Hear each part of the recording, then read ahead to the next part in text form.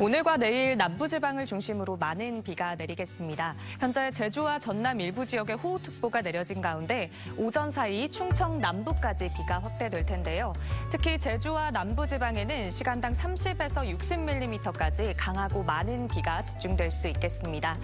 예상 강수량 보면 제주와 전남, 경남 해안에 150mm 이상의 많은 비가 내리겠고요. 전북과 경북 남부에도 20에서 최대 100mm가 예상됩니다. 비는 내일 오전 사이에 대부분 그치겠지만 제주와 남해안은 모레 아침까지 이어지는 곳도 있겠습니다.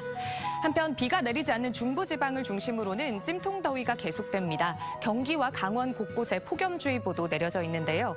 서울과 춘천이 33도까지 오르고 강릉은 32도가 예상됩니다. 남부지방은 광주가 25도, 부산은 24도 보이겠습니다.